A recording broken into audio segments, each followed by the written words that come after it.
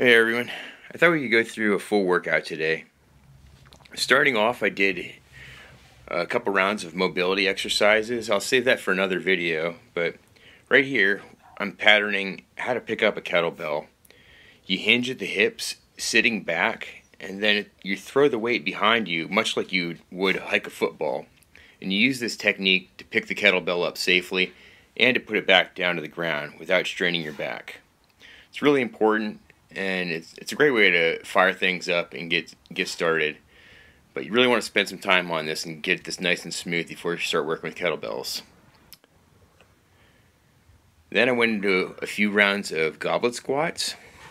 You're holding the bell up at your chest, you're breathing down in your belly, bracing your abs, and pulling yourself down to the ground. It's a great full body exercise. The weight helps stretch you out. So it'll help you get your squat deeper. It is totally okay to drop your hips below your knees. That is a complete nonsense myth that your hips need to be above your knees when you're squatting. It's a natural human movement pattern to get your hips down to the ground like that. Look at children. That's how you do it.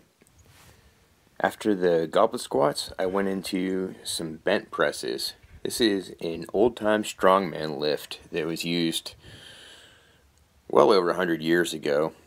The, the biggest name in bent pressing is Arthur Saxon. He was a German strongman. He set the world record back in the day, and it's been untouched since.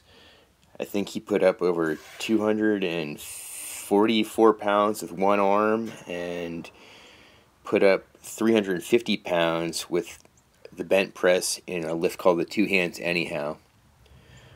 So what I'm doing here is just kind of using the bell and slowly rotating and using the weight to open up my spine and kind of stretch out into the movement. This lift capitalizes on the leverage, using your body as a support to open the elbow up. And it lets you put up a significantly heavier load than you would with a normal, say, military press. Here I am with 106 pounds, and there's no way that I'm pressing this with a military press right now. But with a bent press, it's possible. Now, I just did a couple of these movements at the beginning of my workout. I'm using singles, just one rep per side, taking a break until everything is settled back down before I go on to the other side. This lets me build skill in the movement, crank up my nervous system, and enjoy the benefits of working with a heavier weight. So after the presses, I went into a few sets of heavy swings. I'm doing these with one arm. You can do swings one arm or two arm. They're a little bit different. But this lets you use your full body as a dynamic power movement. I'm really emphasizing the snap at the top. It's much like a punch in karate where you're loose and relaxed and then you're tight at the end of the punch at extension. It's the same thing with the kettlebell. You're driving it with the hips, pulling it up, snapping the hips, and then you're you're contracting everything, making making your whole body really really tight. Just for a second, the bell kind of floats and then it drops down. As it's dropping, you get a bit of rest. So speaking of rest, I'm going into some deep breathing patterns in between sets. I'm using my diaphragm, breathing down into my belly, and really working on taking advantage of the full capacity of the lungs. If you take anything away from this video at all, spend some time working on the breathing. The importance of it cannot be overstated enough. So here we go back into the swings. So even though these are one-armed, I'm using my whole body. I'm tightening the free side. You see the arm swinging behind me and then swinging up. My whole body is working in unison. Now we go back into some deep breathing breathing down into the belly, trying to get the full amount of air into the lungs, and really emphasizing the exhale. You want to get rid of the CO2. So I'm using my hands to kind of give you a visual reference for using the diaphragm. The belly will extend. Now I'm kind of expanding upon that and implementing some Qigong. This is some Chinese health practices. It's a holistic health system from China. It's soft style kung fu. So what I'm doing here is I'm breathing, I'm inhaling, lifting my arms up over my head, kind of extending back, opening my body up, and then compressing down. So the kettlebell, it's it's contracting, it's shortening, it's tightening the muscles, and then I'm using the qigong, the breathing exercises, to recover my heart rate and to open the body back up, which lets me do more work it lets me recover faster and not be sore after. So these are really worth exploring. If weights aren't your thing, try the breathing out. Try breathing down into your belly. You can do this laying on your back. You can do it standing up. You can do it seated in a chair. It just takes a couple minutes and the, the benefits are really, really tremendous.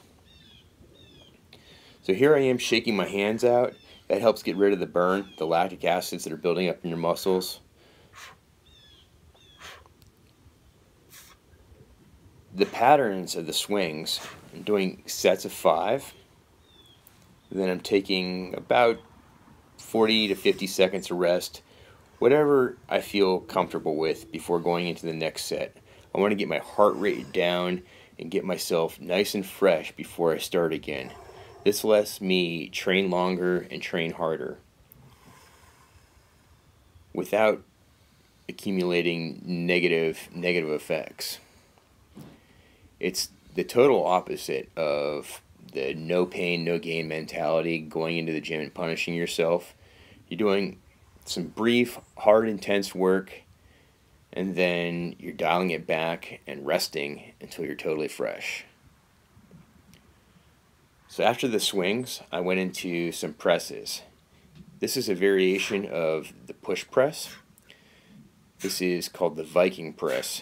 And what I'm doing here is bending my knees to accelerate the bell, and then as it drops, I'm bending my knees again to catch the bell and propel it up.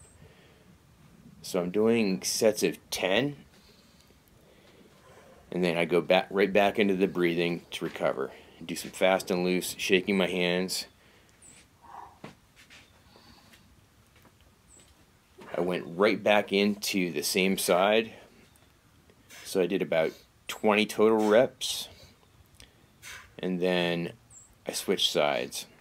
This lets you get a decent amount of fatigue without going totally into the red zone before switching sides.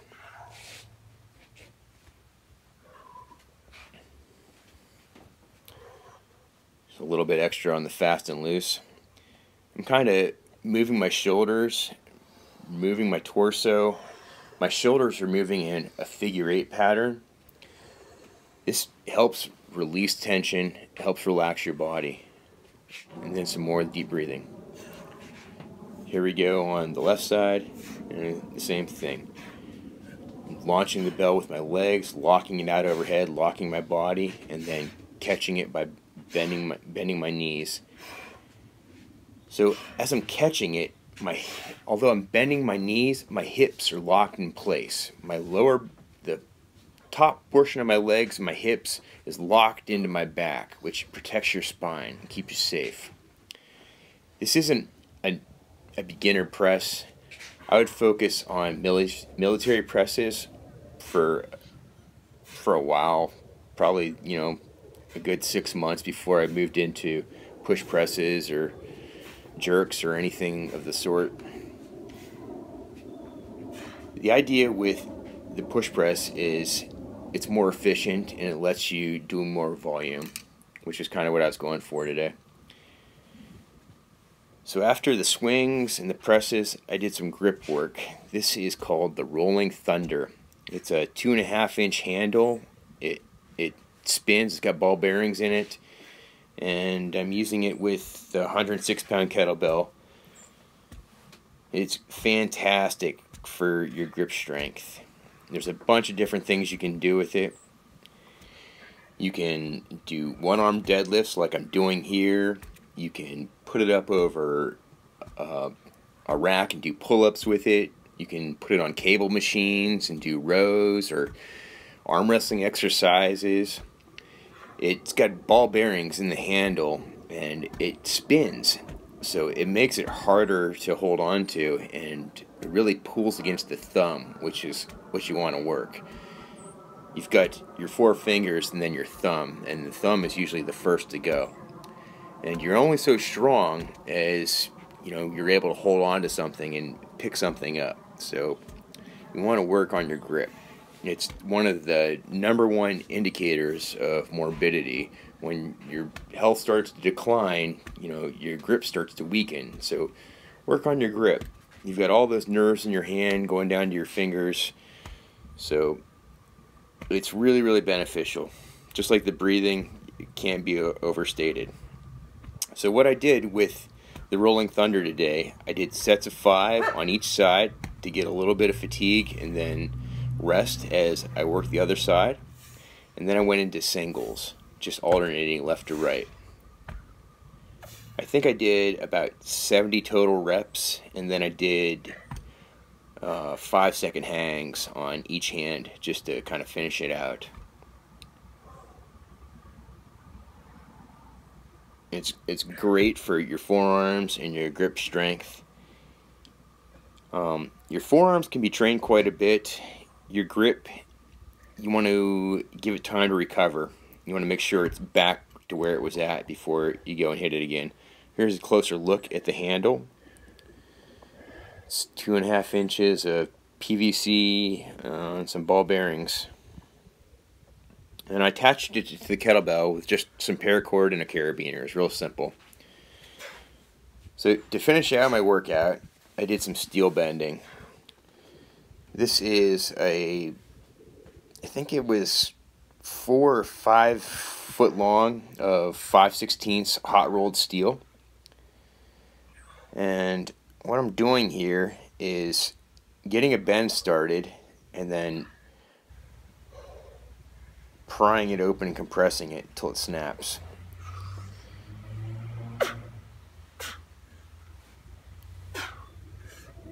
This is called Strongman Cardio.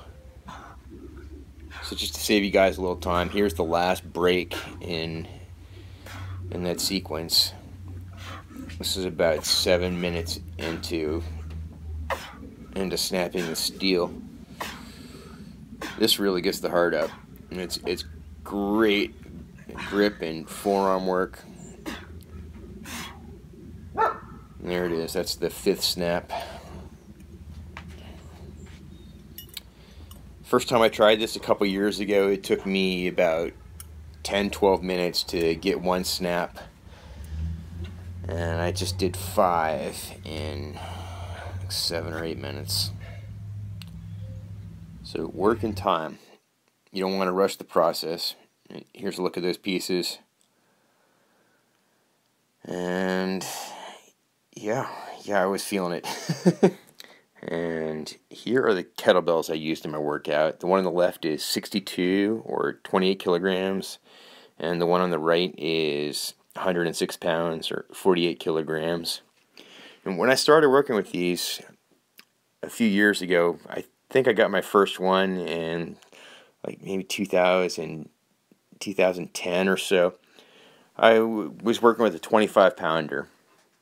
You really want to start light with these. It doesn't matter if you're an experienced athlete or if you're coming from barbell.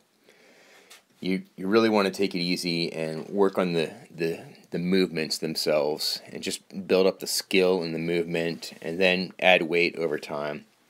It's, it's a different kind of stress because a lot of the stuff you're you're putting the bells in motion and it's just it's hitting the body differently than a lot of the other things that you're probably used to. So there you have it. This is this is how I train. This is some of the stuff that I work on and kind of how I structure my workouts. If you guys are still watching this at this point, you know, I hope you enjoyed. And if you got any questions, just leave me a comment below. I would like to continue this and keep adding to this series. I want to I want to expand on it and help some people out. If you guys are interested in this, um, I'd like to help you keep it going. So, thanks a lot. Thanks for watching, and I'll see you guys next time. Cheers.